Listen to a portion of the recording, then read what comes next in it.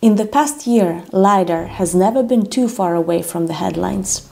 Photonics companies around the world are taking this light based technology out of the labs to commercialize. However, most of the mainstream news concentrate on the legislations around autonomous vehicles or business models. You need to attend annual Driving Vision News conference on LiDAR to take part in the meaningful, in-depth technology discussion. This year, I attended one in Germany, in Wiesbaden, and had an opportunity to preview some of the technologies way before we see them installed in cars or trucks. This year, the theme of the meeting was LiDAR. Is 2024 the year it breaks out? We saw exclusive presentations from both OEMs and Tier 1 companies like Stellantis, Torc Robotics, Hesai, Valeo, Microvision, Cepton, and SOSLab. So let's examine some of the takeaways. First, conference organizer DVN. In one year, so many things happen. One, uh, one takeaway is uh, about the integration. So integration of LiDAR in the car. Last year, we, we talked about integration, but there was no solution. This year, you have plenty of solutions. You, you have the top roof solution, you have the windshield solution, you have the, as well the headlamp or lighting system integration solution. So even too many solutions even if uh, everybody would like to have it behind the windshield, some uh, performance degradation, but uh, relatively limited. I think the, there is a way to, to integrate the, the LiDAR in the car, and I think it's, it's, a, it's a big uh, progress uh, this year. Uh, the second topic is the volume. So we see now companies operating in China coming with high volume opportunities. So companies like Hesai are talking about uh, more than uh, half a million uh, sensors volume for next year. So it's a, it's a different world, it's new, and this is a good sign that LiDAR can sell. So, and they are even profitable, uh, Hesai, so yeah, congratulations to Hesai. Optica was invited to share relevant insights gathered from our corporate members in the new LiDAR Landscape Technology Survey for 2024. Cost, complexity, and reliability continue to stand out as the current concerns. There are three trends to watch. The LiDAR market is on a remarkable upswing. China is leading the charge, having secured the large market share, a trend confirmed by both Hesai and Yole market research. Europe is expected to follow the suit as LiDAR becomes key to national strategies because we still need to reduce the number of accidents to near zero as fast as possible. So frankly, humans are terrible drivers.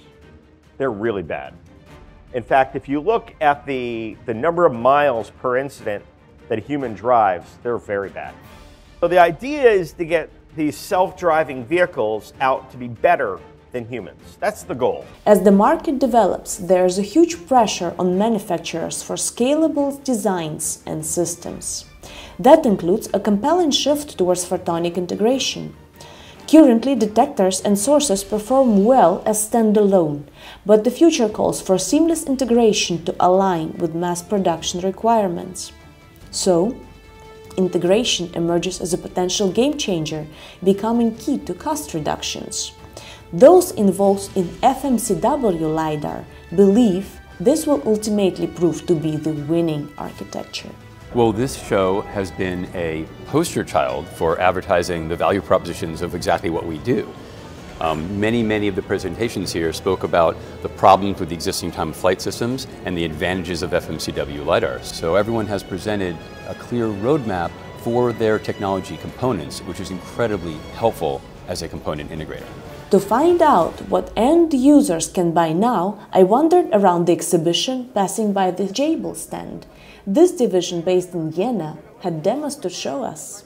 Well, my main takeaways are the LiDAR market is taking off, which is good with all the development we have seen in the past years. In the moment, most of the growth is happening in, in China with the um, Chinese OEMs being very creative and very fast in bringing in this new technology. Um, and the growth in the Western countries, um, in the US market and European market will follow in the next years. And especially for us of Jabil Optics um, in Jena, it's a good point to, to do the design support that we are capable of, um, to support the innovators, support the LiDAR system makers in getting the design on the street, supporting the alignment process, testing process, and then getting to manufacturing. What we here have is our 270 degree flash time of flight sensing system. It's meant for indoor application, so the range is up to 20 meter indoor usage. Um, we have a VCSEL illumination on the bottom and the sensor on top. So the sensor is directed in this, in this way.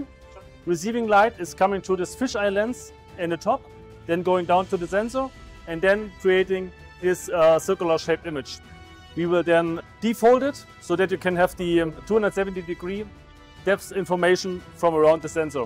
And the application is as a detection system on autonomous moving robots. So only you need only two of these sensors situated at the um, front right and rear left edge, and then you have a 360 degree view around the whole vehicle. There were other companies busy with solutions for system integration. And apart from SUSS Micro-Optics, we also bumped into the ficonTEC. So takeaways from our from this show is uh, mainly that it has a great focus on LiDAR. Um, this uh, corresponds very nice to our offerings in terms of packaging, uh, photonic integrated circuit testing, um, as well as uh, assembly lines uh, for mechanical and optical assembly. And then together with our partner uh, Scramlux offering um, testing in order to save major floor space and to deliver our customers a turnkey solution to produce their LiDAR. If you'd like more details about the LiDAR survey available to Optica Corporate members, then drop me a note directly. It was clear that for 2024 the focus will be on advanced driving assistance systems for cars. Look to track platooning for heavy good vehicles. The dream of the self-driving car still remains a long way off. It works fine on wide highways in California. It might become essential on logistic vehicles at large ports, but on the public roads of crowded, wintry, foggy Europe, we still need attentive drivers behind the wheel. LiDAR has potential to impact accident figures preventing collisions with unpredictable pedestrians. And for a tiny few who love driving, there's no need to change anything. But in the meantime, I will still need to get my driver license.